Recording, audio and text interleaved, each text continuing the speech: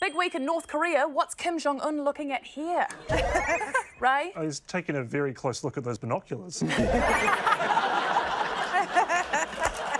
He is, he is. So why have some train stations decided to turn off Wi Fi at night? Ray? Is it to turn it back on to see if it's working?